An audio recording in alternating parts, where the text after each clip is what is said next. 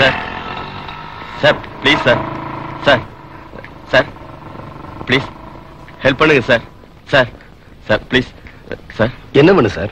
Sir தப்பா நினைச்சுக்காதீங்க sir. எனக்கு ரெண்டு கண்ணும் தெரியாது.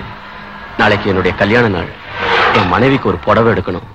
கொஞ்சம் பக்கத்துல இருக்கிற ஷாப்பிங் காம்ப்ளெக்ஸ் கூட்டிட்டு போனீங்கன்னா எனக்கு ரொம்ப உதவியா இருக்கும் சார். வாங்க.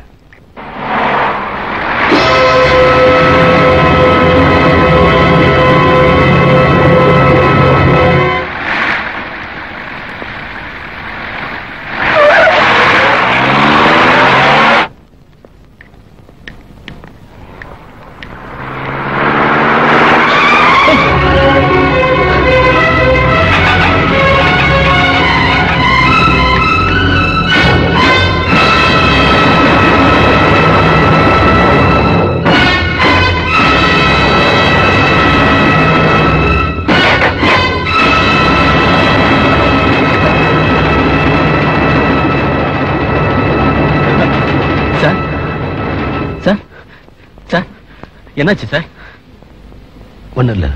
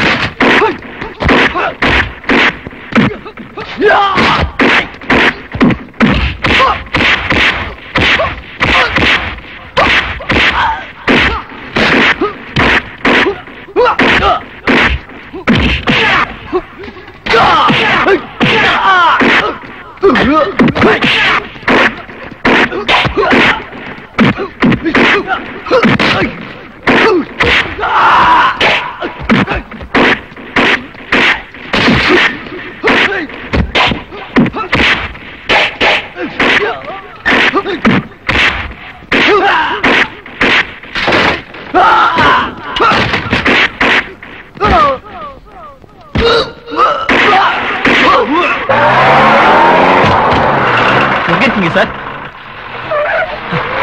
உங்களை அனுப்பி வச்சது யாரு?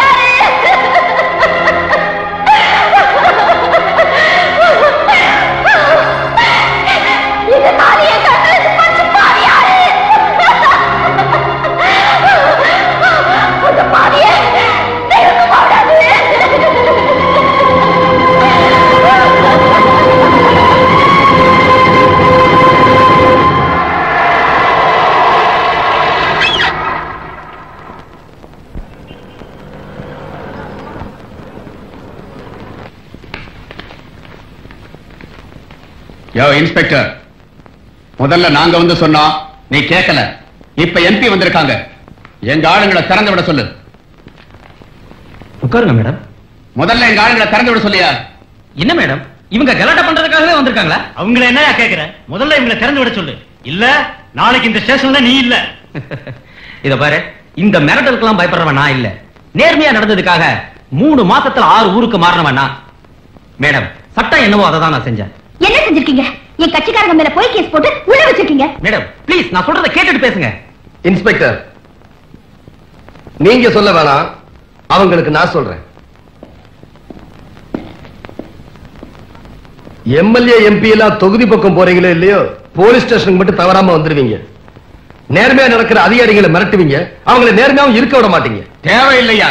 நாங்க சொல்றத கேட்காத போலீஸ்காரங்க எங்களுக்கு தேவையில்லை. இப்ப அவங்கள விடல விளையாட்டா பண்ணுவோம் கடையை உடப்போம் பஸ்ஸ கொளுத்துவோம். என்னது? பஸ்ஸ கொடுத்துங்க பஸ் என்ன உங்க அப்பா விட சொத்தா? உங்களுக்கு ஒரு பிரச்சனைனா பஸ் இருப்பீங்க கடையை உடைப்பீங்க இருக்கிறதெல்லாம் கொள்ளையடிச்சிட்டு போவீங்க. உங்க கட்சி எரிச்சா? அறப்போராட்டம். அடுத்த கட்சிக்காரங்க எரிச்சா? அராஜகம். எல்லாருமா சேர்ந்து மக்களை மடையனாக்குறீங்க. உங்க ஆளுங்களை வெளியே விட சொல்றீங்களே அவங்க என்ன பண்ணாங்கன்னு தெரியுமா?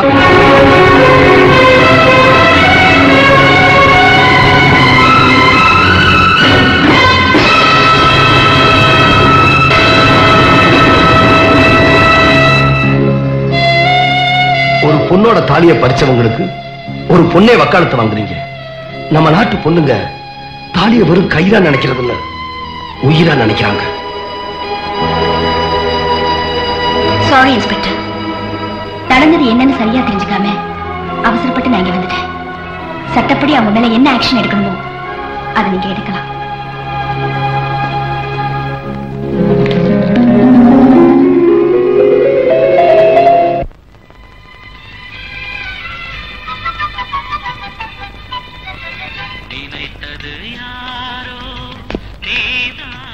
மேடம் எல்லா கேள்வியும் பதில் சொல்றீங்க. ஒரே ஒரு கேள்வி.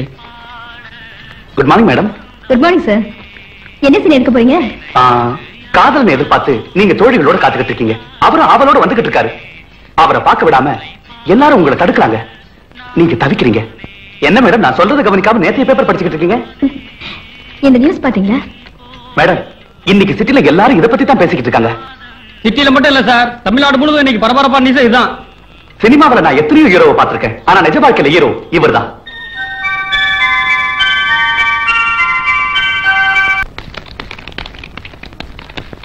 திலகவதி? அம்மா திலகவதி? என்ன? எதுக்கு வந்தீங்க? சினிமாவுல டூயட் பாடிட்டு இருந்த உன்ன அரசியல் கொண்டாந்து எம்பி ஆக்கணும். இங்க நாங்க சொல்றபடி தான் நீ கேட்கணும். டெல்லியில நாங்க சொல்றபடி தான் நீ கைய தூக்கணும்.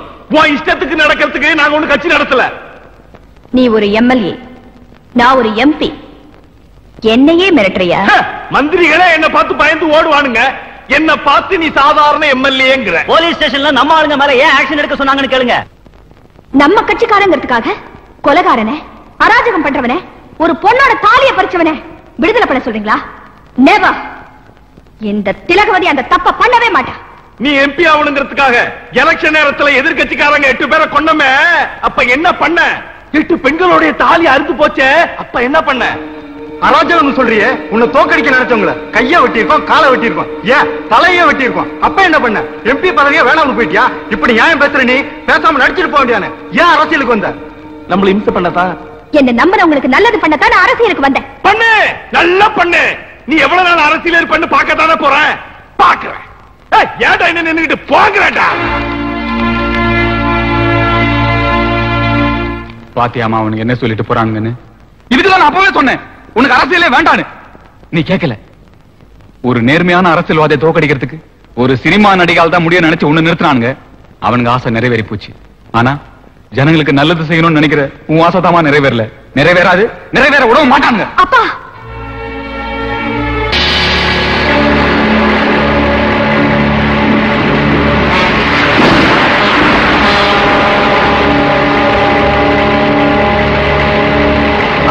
கம்ப்ளைண்ட் எழுதி வாங்க போலீஸ் ஸ்டேஷன் கூட்டிட்டு போறியா?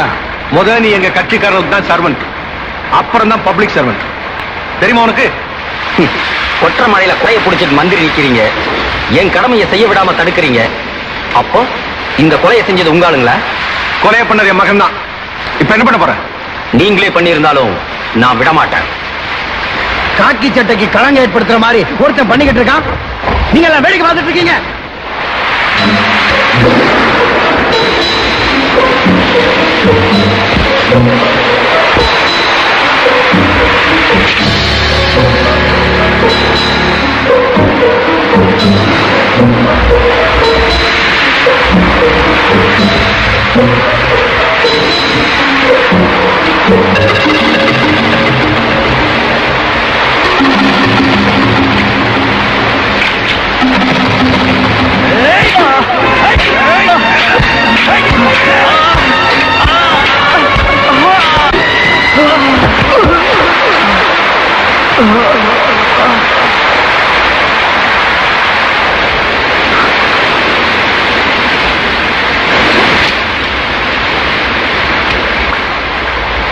புருஷன் தான் போயிட்டான். பொம்பளையா லட்சணமா பொட்டழிச்சிட்டு வீட்டுல உட்காராம போலீஸ் ஸ்டேஷன்ல போய் கம்ப்ளைண்ட் கொடுக்க போறேன். வடிய கப்ப கிளம்ப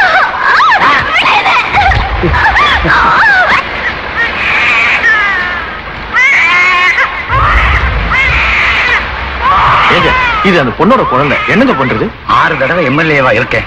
ஒரு குழந்தை கூட இல்ல. இத நான் வளர்த்துக்கிறேனே. கொண்டு போய் குப்பத்துள்ள போடியா? என்னையா யோசிக்கிறேன்? ஏழைங்க எங்க இருக்கணுமோ அங்கதான் இருக்கணும். அப்பதான் நமக்கு ஓட்டு போடுவாங்க. போயா எங்க பேச்ச கேட்காத அதிகாரிங்க எங்களுக்கு எதிராக நடக்கிற அதிகாரிங்க எவனையும் உயிரோட விட மாட்டோம் கள்ளச்சாராயம் காய்ச்சற கோஷ்டிய பிடிக்க போன இவனை அவங்களே அடிச்சு கொன்னுட்டானுங்க. அப்படின்னு நீங்க எல்லாம் சாட்சி சொல்லணும். இல்ல உங்க எல்லாருக்கும் இவன் கதிதான். பாப்பா.